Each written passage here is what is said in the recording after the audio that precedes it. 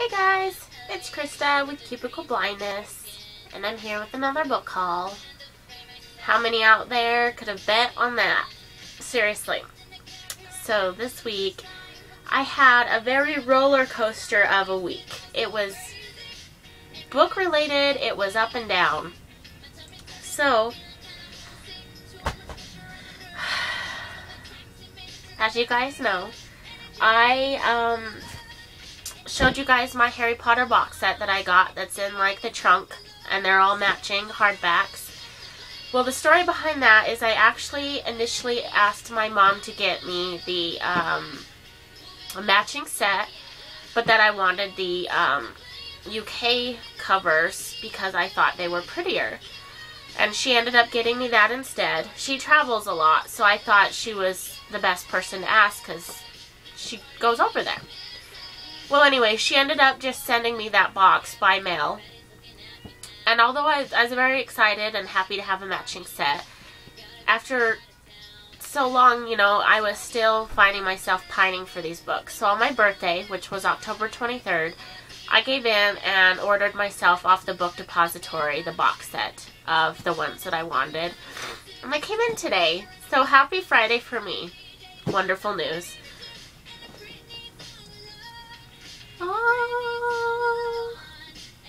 They're beautiful, guys. Nerd moment, I'm going to show you my new Harry Potter set. And I really do, I just love these covers. I don't, I don't know why they're, I think they're the adult covers.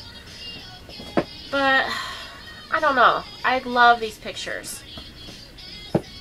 So I'm very, very excited to have these in. And even though I told myself that I wasn't going to read this series again until I got some other books read, I'm really tempted to pick these up again. But I have about 100 on my to-read list, so, well, according to Goodreads, I have about 213 on my to-read list, but I only own, anyway, I own a million. So I'm very excited that I got these today.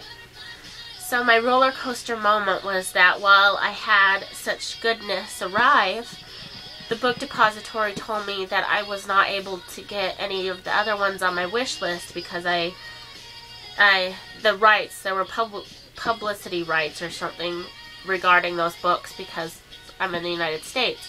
So unfortunately, they weren't able to send me anything else, even if they were available. I wanted the Hunger Games, and I wanted uh, the red and white Twilight set, so kind of had my heart broken.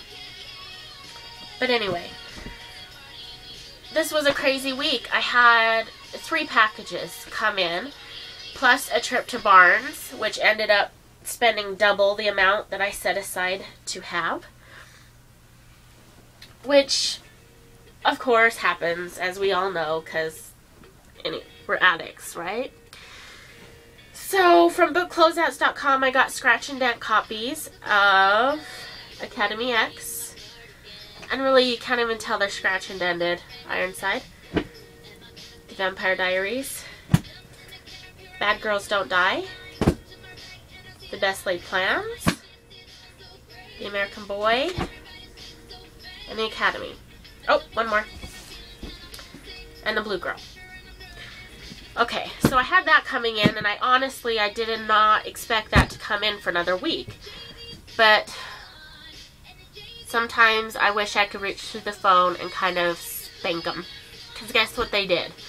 They sent a coupon with my box. And I had to use it, so I went online and ordered some more. Anyway. then I got my order in from Barnes & Noble this one was a um, purchase with a gift card, so it wasn't my own money. Oh, whoops, one more scratch and dent. I missed that. You can tell why it was only $3. Okay, sorry about that. And then I got an order from Barnes & Noble, and this was all in their clearance, so I got Crash Into Me, Wake, The Secret Life of Sparrow Delaney, and Sundays at Tiffany's an order from Amazon, Possessions. And that's everything that I ordered. And it was just totally coincidental they all showed up this week, but it's awesome. Co- my most epic reason for doing this haul is I went to Barnes & Noble with the intention of spending $30 because that was what I set for myself. And I didn't do it. I went in with wanting two books and then gave myself the little bit of leeway with money to buy a third, depending on if there was any clearance items or not. And, eh, didn't work. But I love every book that I got, and I can't wait to read it. Got um, Rampant.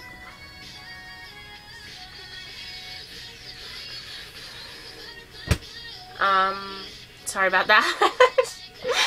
got distracted there. I got Dark Secrets. I got Graceling. The Summoning. The Hollow. Deadly Little Secrets. And now this one. I had a Gina moment from YA Fiction, Fiction Freaks where she's mentioned once that she likes her copies, her books brand new. No dents, no scratches, no anything. But sometimes when she picks up a book, it's like she already owns it. It calls out to her and the spirit possesses her. And I, I kind of laughed when I heard her say that. But guess what? I had it happen to me.